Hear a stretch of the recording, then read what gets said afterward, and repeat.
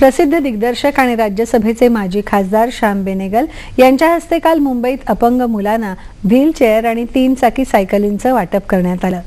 Able disable all people together संस्थेद्वारे या कार्यक्रमाचं आयोजन करण्यात आलं होतं. संस्थेनं केलेल्या एका संशोधन प्रकल्पादरम्यान कुलाबा इथं संस्थेला पाचशे अपंग व्यक्ती आढळल्या ज्यांना कोणतीही सुविधा पुरवण्यात आली नव्हती. बेनेगल यांनी अपंग व्यक्तींना सुविधा पुरवण्यासाठी खासदार निधीतून पंचवीस लाख रुपये मंजूर केले. त्यातून विविध उपक्रम राबवण्यात येत असल्याचं संस्थेतर्फे सांगण्यात आलं.